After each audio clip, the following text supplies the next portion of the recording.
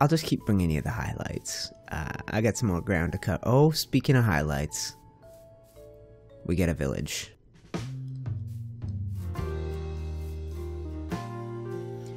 What is going on, guys? Unite the Clans here, back in Yo Life with another episode of Life in the Woods.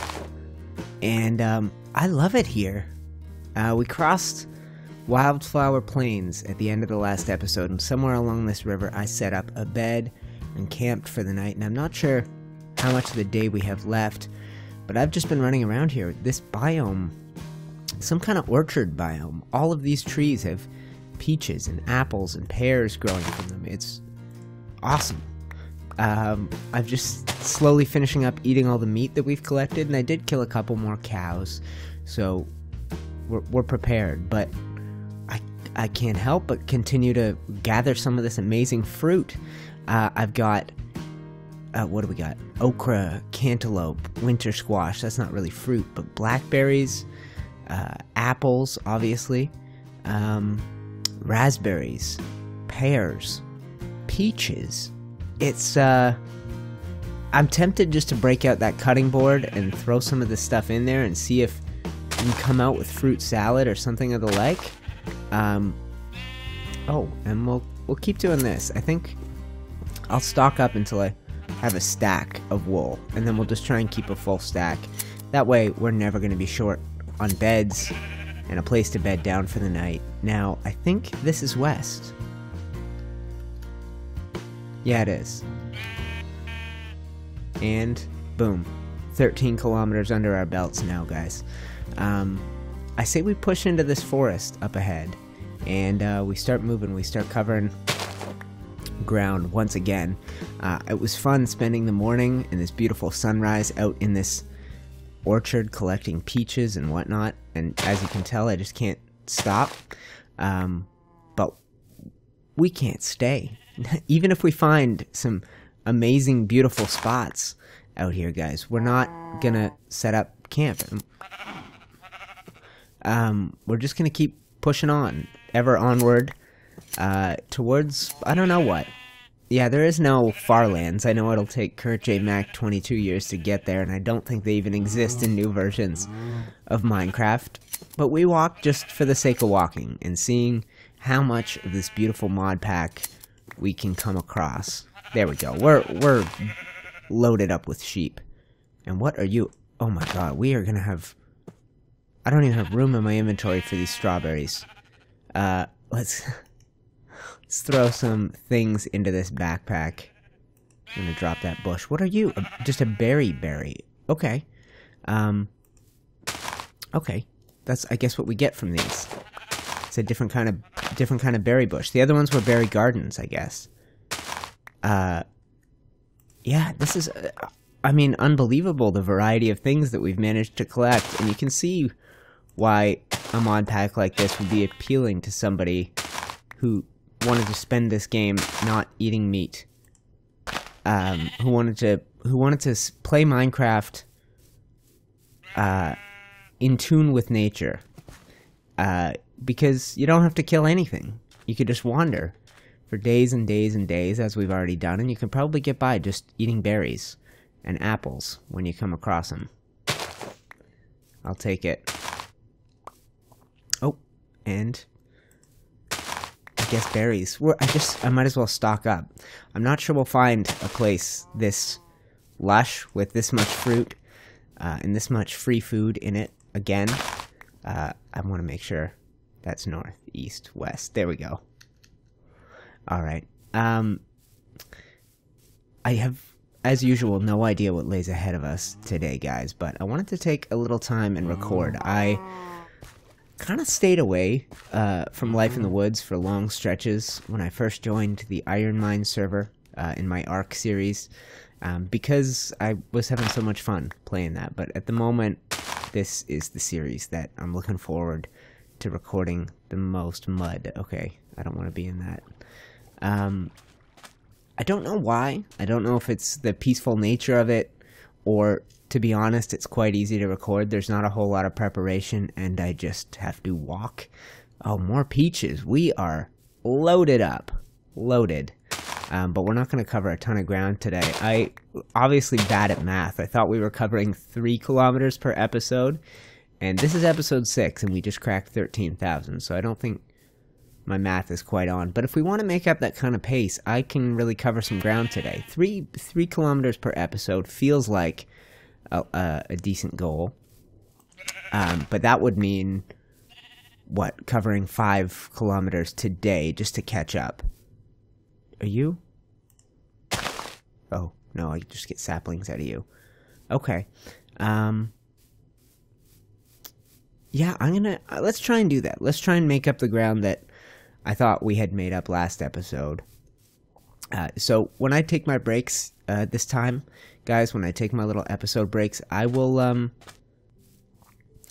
crash number one under our belts, guys. Um, yeah, what I was gonna say, and I think we had already covered some of this ground, is that when I take my breaks, and I usually take one or two over the course of an episode, maybe two today, let's make it a longer one. Um, we haven't done a longer episode of this in a little while. Last one was 15 or 16 minutes. Um, I hope we can do 20 or 25 today. Um, so I'll take a couple of breaks, and when I do, I'll try and stay away from you for a while. I'll try and cover some ground, um, get some distance under our belts. And do I have a boat in my inventory? If I do, it'll be in this backpack. Ah, yes. Okay. So let's throw leather in there. Oh, I have two sets of shears. Huh. Yeah, I noticed that last episode when I was editing. I was sitting there looking at my inventory going, oh, I lost my shears somewhere. Nope, they're sitting right in your inventory, dude. Right in your inventory. Uh, so let's now get this backpack out. We'll pull out a boat. We'll throw it onto, whoops, the hot bar. Give me that backpack. And uh, we'll see if we can't make some ground on this river. Night is upon us. And I've made a promise to myself last episode when a creeper blew up right beside me to head to bed earlier and to not push it so late, to not wait until it's freaking dark to set up a bed, but it looks like we might have open ocean. And the ocean is fairly safe at night, guys. So, I'm gonna see what I can do. I'll take the first break in this video, and I'll come back with you sometime uh, in the morning, and um, hopefully I will have covered another thousand or so blocks. Alright guys, dawn is upon us. Um, I camped out on a little island back there, didn't sleep, but I actually worked with my cutting board and look what I made. Fruit salad. Some things I guess are intuitive. I have to say though, I have been experiencing a ton of crashes and all of them are coming when I'm in this boat, so I'm kind of in a hurry to get out of it and get back on dry land. Let's just do it. Whoa, where's the actual boat? Oh, that's a shark. Get the hell away from me, you SOB. Alright, the boat's gone. Screw it. Boats are only causing problems today, guys. This is another cool biome. I like it. I like it. It looks like the grass just looks dried out almost. As do the trees. I'm not sure what sort of a biome we're in, but we're headed west once again. Uh, I did a little bit of northern travel to try and find a river or more ocean we could take because if I really do want to cover some ground, it's gonna be that way. Hi. Oh, hello. All kinds of freaks up in this. Yeah. Okay, we'll see you later. Okay, that's why you gotta have the ability to sprint when the time comes. You gotta keep that belly full so that when some witches descend on you, you can hustle. And wow. What do they call this biome? Dead swamp. Interesting. Yeah, I uh I love it. Guys, I get lost in this game and uh if I weren't making a series walking endlessly through life in the woods renaissance, I would be doing it in my free time. How awesome does this look? For those of you that have grown up playing vanilla, this is a game changer. I know I said the exact same thing last episode, but oh, there's a zomboid. He's getting burnt up. That fire looks very weird though. I must have fire animations turned off. There's a few things I tweaked to try and get this game to run like I want it to run. Uh, let's make sure we don't take any fall damage. Perfect. And we'll just keep wading across. Um, I really hope that once again we stumble on some magnificent structure. We found a couple episodes back those little Japanese kitchens where I still got the sushi and the tea and the the rice and the tea leaves and uh, I really haven't even taken the time to eat those. But once we've burned through some of these last morsels of food, like this cooked pork chop, we're going to be getting into light meals like fruit salad and sushi, which hopefully satiate our hunger a lot more. And, um, looks like the dead swamp is coming to an end and a forest lies ahead. Um, the forests are beautiful, but I don't. Oh, hi, you slime fool, get destroyed. Oh, right, it's slimes, I forgot. You don't just kill them once, you kill them a bunch of individual times. Okay. Was there another one around here? Or did I just dispatch of it? Either way, those aren't regular slimes. Well, I guess they are. The balls just look different in the dead swamp. Uh, was I going that way? I think it was this way. I think it was this way. And there's slimes all up in the place. I think I'm going to go ahead and kill him. Uh, because that's a resource we may want at some point in the future. Oh, right. Moron. I keep forgetting. Now, the big ones, that you guys have seen those, the little ones, I chop them and they break into littler ones that I then kill. These guys are going to break into littler ones that'll break into e Yeah. Uh, that might be crash number six for me, guys. Uh, it's just one of those days. I guess the day that I decide I want to cover a lot of ground is the day that Life in the Woods doesn't play along, and it makes sure that I have not only a slow moving day. But what are those little brown balls I'm also collecting? Mud balls. Okay, I'm gonna not keep tangoing with these big squishy bastards. Let's hustle. I think we've got enough slime balls for now. I don't want to risk another crash in combat with one of those bouncy osmosis freaks. Um, I'm gonna leave those. We get so many different varieties of food going right now that um that I don't I don't want to further worsen things. Uh, yet another crash, guys. This game is not playing along today. Sometimes I can play and I can play. Up, I think. I mean, that my practice run I played for a couple hours uh, before I started recording, and um, the game was fine for that stretch.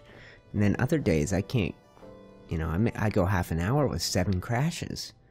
I don't really know how to explain it, but it is not even close to deterring me from uh, continuing this journey. Uh, I think some episodes will just be a little tougher to record and probably tougher to watch, to be honest, because with all the breaks I can barely keep up with how much I've recorded, and staying on the same topic is almost impossible when you need to. What are you? Pinecone. Cool. Uh, staying on topic is almost impossible when you need to Control Alt Delete, close, uh, close the error messages, reload the game, uh, find out where you were, and then continue talking. Um, so I apologize if this one is a little more. Ooh, Ooh, this looks creepy.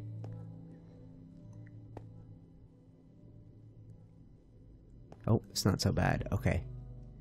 I just figured I'd peek down there. Um, yeah, I was talking about the mega structures in this game. A couple episodes back, we found those little Japanese uh, houses with the Zen garden. Last episode, I tell you guys, a massive pair of ice towers uh, that we explored and then we moved on to a, a giant amphitheater. If we keep pushing on, uh, I guarantee you there's something just ahead, and that is generally why I try and go around the forests. Because if there is something out here, if there's something uh, nearby, I don't want to miss it. Um, and when you're in those those deep forests, some of them are, are very, very thick. That one doesn't look so bad. Um, but it's hard to see what's around you and it looks like we're back into a winter biome. Completely frozen over rivers and white sheep for days. We're loaded up to the gills with wool, so I'm in no hurry to shear all these guys. Plus, it's cold as hell out here. They need that wool. Stay warm. Um, yeah, with uh, with the crashes, guys, I, have to admit I've lost my train of thought ever so slightly. Um, this. um, why don't you let me take another little break, guys? I'm gonna see if I can put some ground between us, between us and Spawn. Uh, I'm thinking I want to hit eighteen thousand on that X in the negative. Um, and that means covering another 3,000 blocks this episode, which is what we normally do in an episode. So I will pull away from you guys. I'm just going to walk and um, I'll bring you back when I come across anything remotely interesting or I start to approach that number.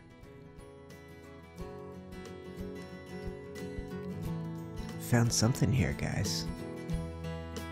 I don't think it's anything spectacular, but um, it's kind of cool nonetheless. It's the ruins of an old house with a little bit of water here. It's a weird spot. Very weird spot. So weird. Like a sacrificial altar.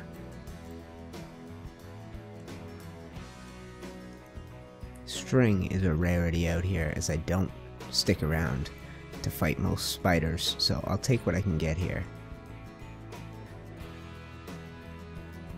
I think I've got another couple thousand blocks to go here, guys. Yeah, I do. Um, I'll just keep bringing you the highlights. Uh, I got some more ground to cut. Oh, speaking of highlights, we get a village. We got a village around 16,000 blocks. I gotta have a look around here. There could be wheat, there could be potatoes, there could be carrots, there could be a blacksmith shop loaded up with armor and iron. I think the villages, though, are kind of the same as the standard villages. I don't think they have a wide variety of... Yeah, I don't think there's a wide variety of new stuff here. What do we have? Potatoes. Yeah, I'm gonna get out this um, bountiful harvest pick, uh, hoe. And, oh, you only get one, eh? Okay, well, this isn't that bountiful a harvest, but I know we want to live in tune with nature, but hopefully these guys have some stores. Uh, we're gonna take what we can get when it comes to food out here, especially the full-grown wheat. Uh, I'd love to make some bread, and I'd love to experiment with that cutting board and with sandwiches, and I just lied to you. Strawberry crop. 0% growth. Barley crop. Barley. Okay, you get nothing from breaking that. Turnip. Okay, is it a turnip seed? It is a turnip seed. Okay, well that won't help us either. Let's leave these villagers with all their ungrown crops. I think that's probably the wisest bet, and night is upon us. So we're going to be setting up shop here. Guys, I have some more ground to cover in the morning oats. Is again, a seed, right? Yeah. Okay, so when it comes to fully grown crops, there don't seem to be too many, and I don't see a blacksmith shop anywhere. Um, I'm gonna gather up the last of this wheat, and I'm gonna set up a bed in one of these houses, and we'll stay with these people for the night uh, and then in the morning, guys, I'm going to continue our westward journey towards that sunset. And you know what? There may just be a blacksmith over there. Uh, so if I find anything good, I'll show it to you in the morning. If not, I'm going to spend the night here. And um, I'll come back to you guys when I've covered the ground that we're hoping to cover today. Well, good morning, guys. A beautiful night spent with these guys. I've set up a little spot here.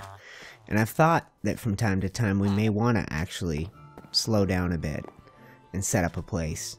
Um, just so I can take the time to really explore some of the things you can do in this game. Now that we have bread, uh, now that we have bread, guys, and I've realized the power of this search tool, I just Google sandwich here, and uh,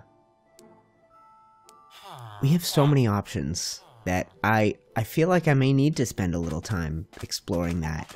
Um, so I think instead of trying to hit 18, 18 kilometers by the end of this episode, we might just set up here for a day or two. I might play a little off camera and explore some of the food crafting options so that we're not starving and just nibbling on things we pick up along the way. Having nibbled on this fruit salad makes me realize just how much better it is.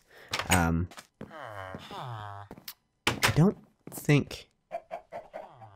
Yeah, uh, I'll see if there's there is a blacksmith. Okay, let's have a look in this last building. That was crash number eight, guys. Now, admittedly, I've been recording for an hour, but um, oh, this one's completely empty. Maybe I'll move my stuff over here if I do decide to stay a couple nights in this village with these people. But crash number eight seals it for me. I think instead of making it 18 kilometers by the end of this episode, by the way, we're at 16 right now, I think I will set up camp here. I'll play a little bit off camera. I'll see if I can really explore. Will you guys shut up a little bit? Anyway, I'll see if I can explore some of the amazing food options. And uh, we'll end this episode with uh, the discovery of what's in this chest. Every blacksmith shop has one. It's usually got armor. Right now we're decked out in a very simple uh, leather helmet that I painted up with, uh, I think, some leather boots. Yes, I did. Let's have a look. Flippers? What? Uh, thorns. I think I'll leave those behind. Another pickaxe, which is great, an iron one. Pile of ashes. I might leave that too. And we'll grab these apples uh, as soon as I can make room for them in my inventory. Uh, yeah, here, put this dirt down.